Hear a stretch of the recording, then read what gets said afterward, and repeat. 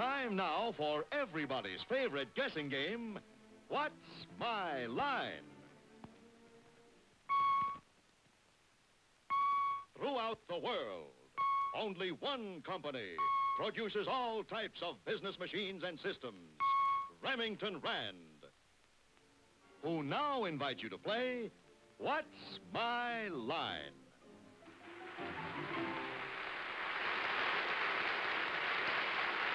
Now let's meet our award-winning What's My Line panel. First, the popular star of television and the theater, Miss Arlene Francis.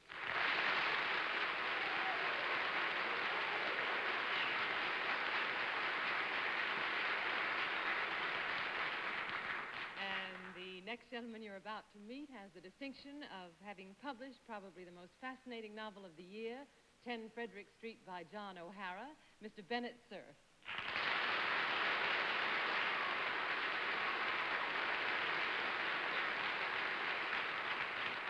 Is an evening I've waited for a long time because I now have the privilege of the first time of introducing one of the smartest and nicest girls in journalism and television, Miss Dorothy Kilgallen.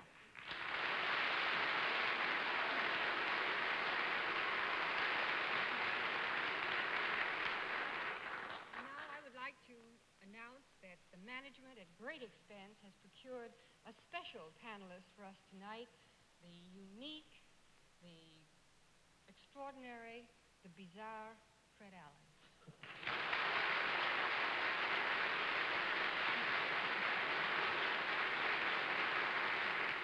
Uh, ladies and gentlemen, statistics prove that the average male baby only requires one babysitter to keep him company. But when that baby grows up and becomes John Daly, he requires four sitters. and now that the four sitters are here, may I present the, the former baby who has grown up to become our moderator, Mr. John Daly.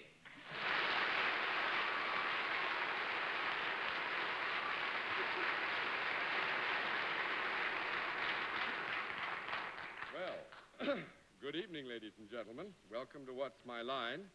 I think you're all familiar with what we're about to do. We've got some interesting occupations which we think will puzzle our panel, some nice people who brought the occupations. We'll have a famous guest challenger a bit later on, but right now I think we ought to get things rolling. It's time for the experts to meet the first challenger whose line has to be spotted. So would you come out and sign in, please?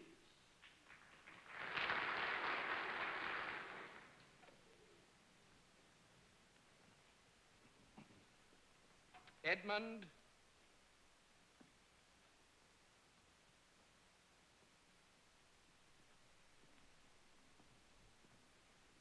Edmund Baughman, is that right?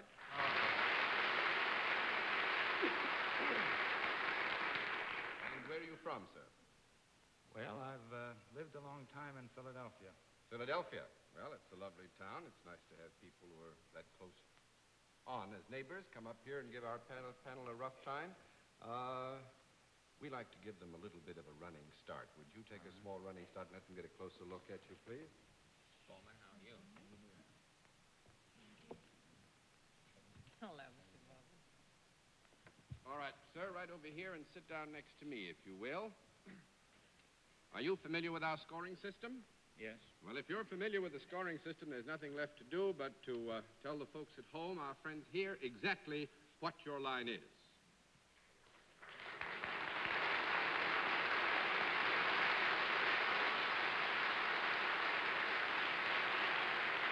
All right.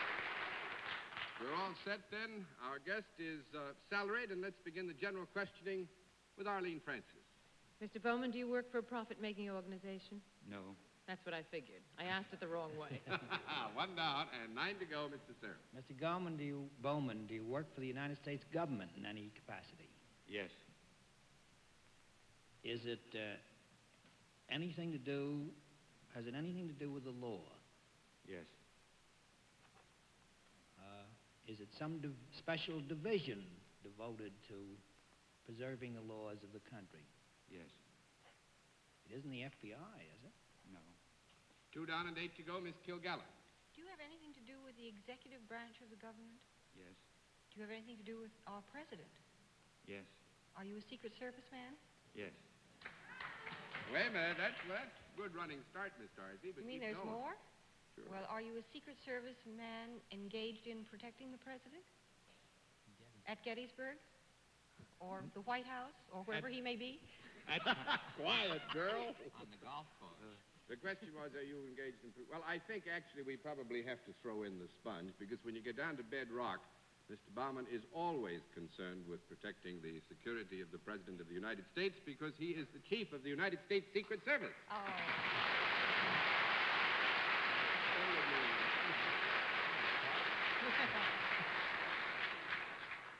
Yes, Mr. Allen. Do you think that, I want to ask Mr. Baughman, do you think that the president is giving the country another Gettysburg Address? Oh, no. Well, I'm sitting in Bennett's place, John. That's the best I can do. Mr. Baughman, could I ask a serious question? I think we'd all like to know just what is the relationship between the Secret Service and the FBI? The Secret Service Division is a unit or agency of the Treasury Department. The FBI is in the Department of Justice. They're two separate agencies. But more or less interlocked, don't they? Do some, somewhat the Yes, same we cooperate and exchange information, but the Secret Service, we have specific duties like uh, protection of the president, suppression of counterfeiting, forgery of government checks.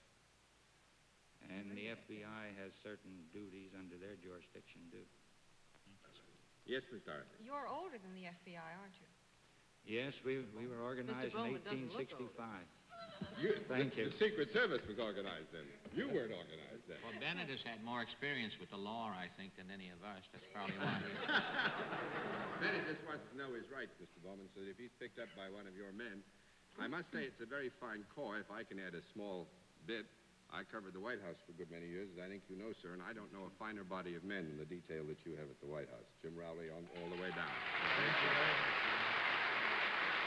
Now, I must tell, I think the panel will get a kick out of this. Actually, we put great pressure on Mr. Baughman to come on this week, even though I think it was some inconvenience for him, because by next week, his, he and nine other Americans who well deserve it uh, will have their pictures and a story in Look magazine. And we were afraid you'd see it, because he is one of the ten Americans who is going to receive at the first annual, I don't know whether you know about this, do you? Yes, first ma'am. annual Career Service Award that is given by the Civil Service um, League in Washington next Saturday night. And they called me and asked me to come down and preside at the dinner. I couldn't do it. But Mr. Baughman, next week would be so hot, but you got him anyway, very quickly. Yes, Charlie. Then the least you can do is flip all the cards. No question about it. We flipped all the cards, and thanks very mu- much for coming. Will you say hello to the panel? And and then I'd like to meet you personally.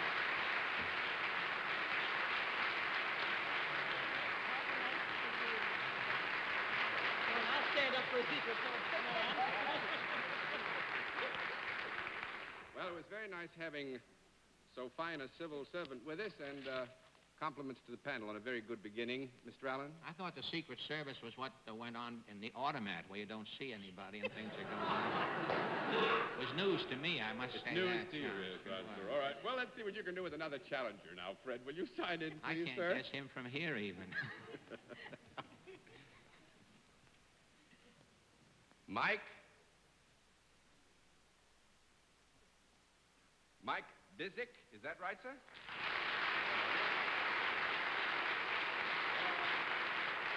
Mr. Bizik, where are you from?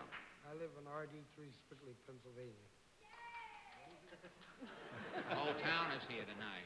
You have friends. What town was that in here? Where would you tell us the town again? R? RD3 Sewickley, Pennsylvania. RD3, that's Rural, Delivery Route 3 in Zwick, Sewickley, Pennsylvania. Fine. The panel would like a chance to get a better look at you. Would you mind very much taking a small hike for me? How are you? Good. Hi, how are you? It's right near Pittsburgh, isn't it? Is it? Hi. Bennett All right, travels, Mr. Bizik, too. right here, if you will, and sit down next to me. And I would ask you first, you know our uh, scoring system here. You familiar with it, how we score? Good, then let's let the folks at home and our friends in the theater know exactly what your line is.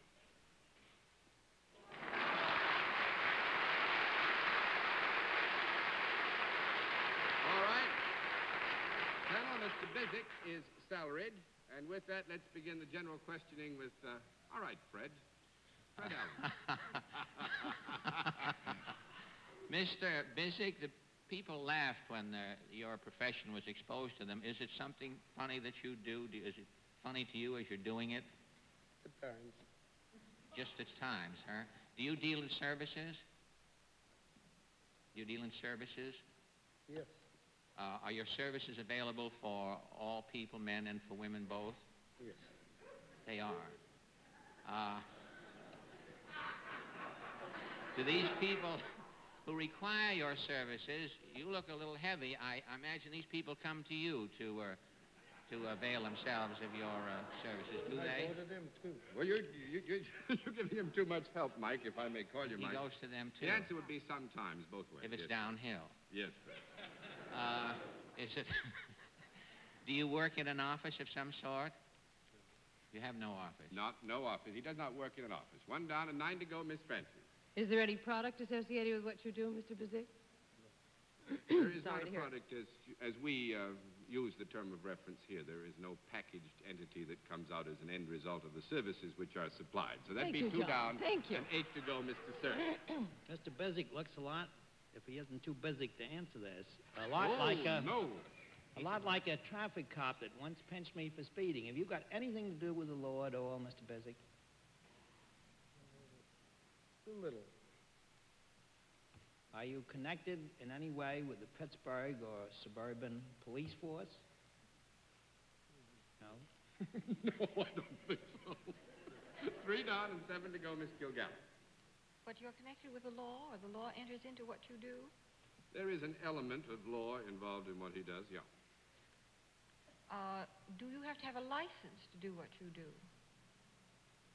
No, you mean get a license from the state as you would if you were going to some- practice podiatry? Some sort of permission? Well, no, I not not license as we know it. That's four down and six to go, Mr. Allen. But he doesn't work through some uh, some branch of the uh, of the police or through some uh, branch of the. Uh, No, actually, the ele- there is an element of law involved. He would not be described as a policeman, which is, I think, what Mr. what- is Mr. there any Bizik meant to paperwork confess. involved in what you do? Is there any paperwork involved in it? Oh, a little. Do you give papers to people? No. Do they give papers to you? Well, go ahead. Something must go on when you see the people, I'm sure. Five down and five to go, Miss Francis. Well, may we assume that you do work for a non-profit making organization, Mr. Bizik? And if you're Yeah. making money, the government will, you will hear from them. They should know about it, too.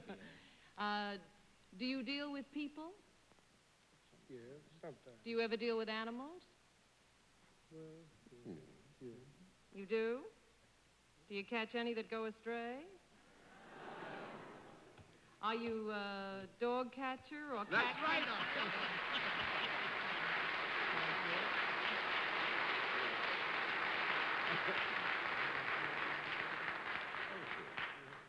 Actually, uh, I would uh, He has one of his dogs with him? talk about catching dogs. One township, two townships, three townships, four townships, five townships. There's some more here. Mr. Bizik actually is a dog catcher for his town, dog catcher for six other towns, and for a borough, right? And that's a lot of power, and there's a certain. How does he catch them? Does he overtake them? Or? credentials officially. What are those? What are those things in your pocket? Those are his commissions. Those are my commissions and credentials to say that I am. Well, the dogs The can't dog read them. How do they know that? Well, thank you very much, Mr. He might be thinking of the wrong dog. Very nice to have had you on What's My Life.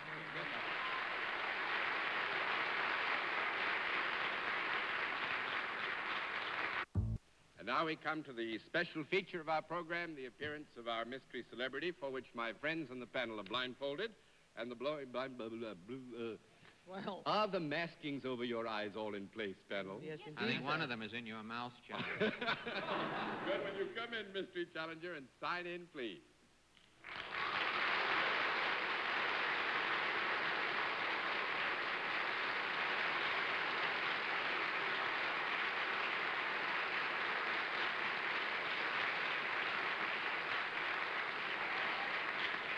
Well, as you know, in the case of our mystery challenge challenger, we go to a different form of questioning. You ask one question at a time, in turn moving clockwise. And we will begin it all with uh, Dorothy Kilgallen. Are you in show business? yes, Mum. Mr. Allen? Are you a male performer? It sounded like the Velvet Fog, but I didn't.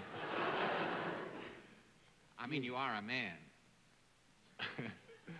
I can't tell. I feel like the Hathaway shirt man multiplied by two here. You don't look like that Hathaway Are you a man. performer? Yes, I think I'm a performer. Yes, thank you very much. All right, Miss Francis? Uh, he is male, uh, Fred. Uh, aren't you? Yeah, that- that's right. Uh, you a comedian? Uh, I used to be a comedian. I'd, I'd like to be again sometime now. But just so that you don't get misled anywhere, that'll be one down and nine to go, Mr. Cerf.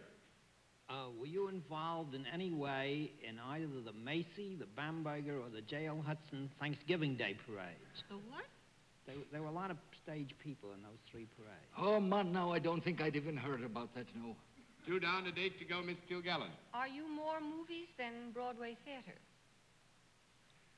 Well, now that's a matter of uh, that's a matter of the mind now. Uh, If what I'd does say, your mind say? Hey, I, I I'd like to say that I'm more Broadway, but uh, maybe I'm more movies. I don't. I would think on a matter of um, volume, we would say definitely it's movies, Miss Kilgallen. Mr. Allen? Are you in a movie that's currently playing in New York? Well, now that's a pretty good assumption, now, Mr. Allen. I hope you are. Yes, he is, Mr. Allen. Miss Francis? Uh, have you appeared in television? Am I what now? Télévision? Vous comprenez? You appeared in television. No, no, no. It's a little thing that comes out on a screen. No, I don't do very much television. No. You do not. That's No. three down and seven to go, Mr. Cerf. Is the movie that you're appearing in currently appearing in a first-run house on or near Broadway? Yes, it is now. Miss Kilgallen? Are you a leading man rather than a character man? Well, now there are times when I've been a leading man, and there are times when I've been not a leading man. And that is a very fair answer. Is the picture Guys and Dolls? No, but I wish. I wish we could make that much money now. Miss Francis? The fact that you're using an Irish dialect has absolutely nothing to do with who you really are, does it? Well, I've done a lot of Irish plays. But you're not Irish, is what I mean. Are you? I have a brother-in-law that's Irish. That answers your question, Miss Arley. Mr. Cerf? Very helpful. Is the picture that you're in called The Tender Trap?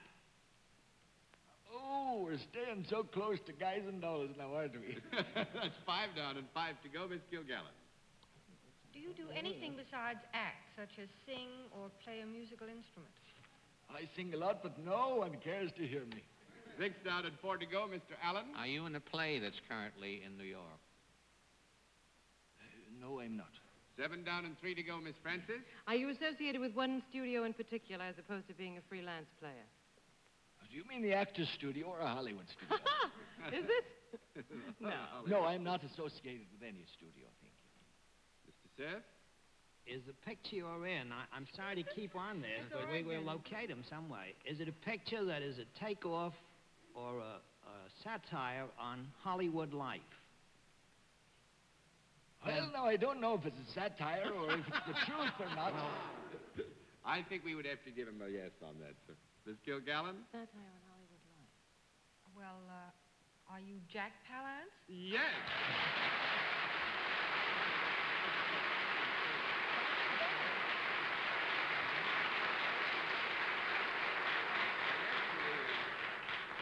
On the count of the Broadway thing, there are two pictures, and it's a rather strange thing, I think, isn't it, Jack? Two of Jack's pictures are currently on Broadway, one within a block of the other. The, um, uh, One, the Big Knife and I Died a Thousand As a Times. matter of fact, the houses were adjacent, but one has um, one has been cremated recently, and it has gone into the hinterlands. Uh, In- I died a thousand times is gone.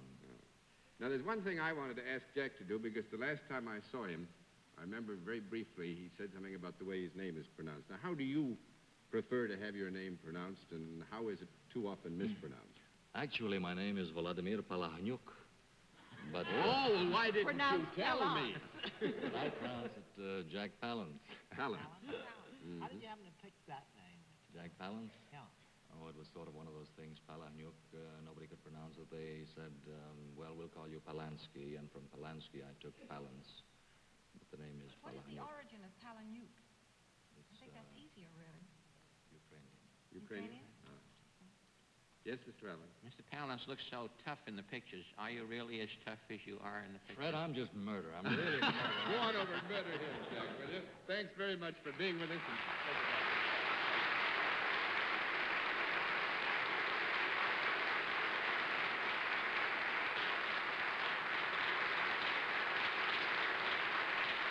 All righty, panel. We've got time, I think, to take on another bit of exercise for you. Would you sign in, please, ma'am? Be our next challenger.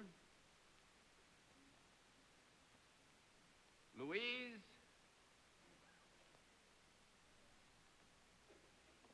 Engelke, is that right?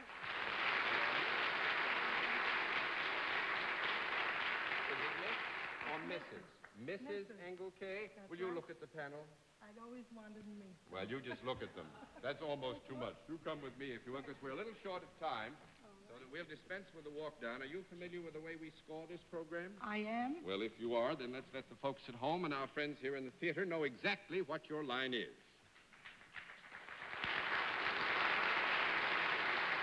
All right. Mrs. Engelke is salaried, and let's begin the general questions with Mr. Cerf. Mrs. Engelke, I don't think you said where you were from, did you? Astoria, Long Island. Well, that helps a lot. is there a product connected with what you do, Mrs. Engelke? There is. Is it a product that could be used by both sexes? Yes. Is it, pro- is it a product that is or has ever been alive? No. That's one down and nine to go, Miss Kilgallen. Is it found in the home? I beg your pardon? Is the product found in the home? Could be. Could it be found outside the home, too? Yes. Could children use it? Um, Sometimes. they Sometimes. could. Is it something that makes people happier? I believe it does. Is it consumed? Hardly. No, that's I- two I down and eight to go, Miss. eaten. Beg pardon? I didn't mean necessarily eaten. I just No, I meant know it's consumed. meant. It still isn't, dear. Okay. All right. Uh, two down and eight to go, Mr. Allen. Well, you can consume it by pouring acid on it. I mean, you don't have to. Oh, we actually- could we could get rid of it if we had to, yeah. Is it i- is something that's not edible? No. That- I- Is yes, it, it is something that's not edible, no. Is it sold in a specific uh, sort of store? Not necessarily. No, Sell it on the not street, do you? specific. Mm-mm. No, that's three down and seven to go, Miss Francis, and only two minutes to go. Is it solid rather than liquid? Yes. Uh, is it uh, made of metal in any part of it? No. That's four down and six to go, Mr. Cerf. Mrs. Engelke, is, would this be considered an article of apparel? Uh, an article of apparel. I don't think we could consider No, this an sir. article of apparel. No, Yes. that's five down and five to go, Miss Kilgallen. Would I be likely to have one of these things? You could. You might. It's you know it's possible that you might. We won't guarantee that you do have. Is it useful rather than a luxury? Mm, I'm afraid we would have to say, even though it's a hard thing to have to say, that this would be considered a luxury. It is not necessary to sustain ordinary life. you John, I didn't ask if it was a necessity. I don't want to argue, but I just said useful. All right, then we'll let you. It is useful. One minute to go. You can Is keep it smaller than a bread box? smaller than a bread box. Yes, Yes. it is. Is it uh, as small as a box that a diamond necklace would come in? Mm, well, what, I- how, how many diamond necklaces? No, I don't think so. That's six down and four to go, Mr. Allen. Has it been established that it's ornamental? No, it hasn't. Would you like to ask that question? Uh, yes, I would. yes. Yes. It is It is. ornamental? Yes. Is it in the jewelry family? The jewelry family. no, that's seven down and three to go. And actually, Miss Francis, one question. I just wanted to ask, yes, that's what I did. Does it have anything to do with anything that grows? No, I don't know. Well, in a way, well, and yes, grow. and still may. no. I don't Because I don't know whether we could say this really has anything to do with something that grows, because Mrs. Engelke makes Santa Claus beards and mustaches. They grow like mad. Thank you very much, Miss Engelke. Nice to have you with us. We'll be back in just a moment. And now, until next week, this is John Daly saying good night, Arlene. It's nice to have you say good night to me, John. Good night. Good night, and don't forget to get measured for your beard, Bennett. I'd like to get in on a commercial. I bet as fast as Mrs. Engelke grows those beards, Remington Rand shaves them more. Good night, Dorothy. Good night, Fred. Uh, good night, Dorothy. And, John, if you're dismissing the sitters, we'll go along and say good night. Dismissed, Fred. Good night, ladies and gentlemen. Thanks for being with us on What's My Line.